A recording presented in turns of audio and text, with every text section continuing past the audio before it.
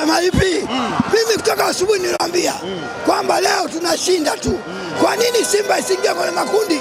Simba ni timu kubwa, Simba ni timu inaonyesha maajabu Tanzania, na nasema vile vile ya magrupu tutakwenda kufanya vizuri, na mtani nawaambia Mzee Mchacho, ah, ah, mbili zao mbili za Yanga, mbili zao mbili za Yanga.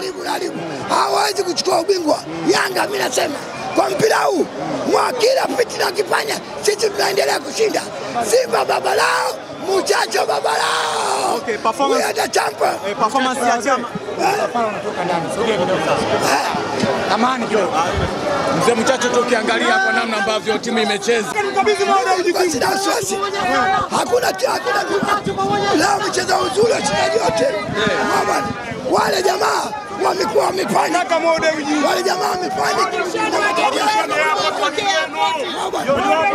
ndio maana Umeona? Simba ni timu moja Tanzania. Inaonyesha maajabu. Simu Simba Simba ni timu moja maajabu. Sogeeni kule msafara unatoka ndani.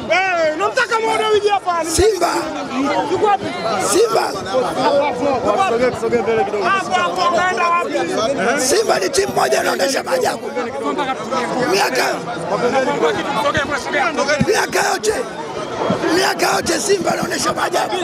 Miaka yote Simba inaonyesha maajabu. Hakuna timu yote Tanzania inaonyesha maajabu kama Simba.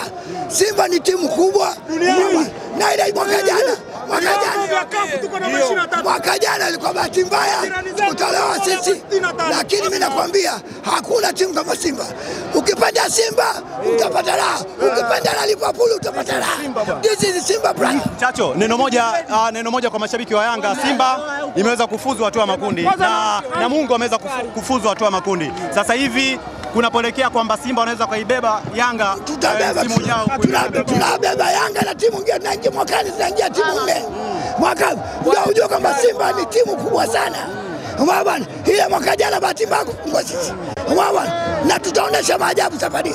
Naomba wanachama na wapenzi na wanachama na wapenzi wa Simba tuwe kitu kimoja. Umeona bwana, mimi leo kwa ile kwa ile furaha leo natamani sijui nilie au nicheke. Muchacho baba lao, Simba baba lao.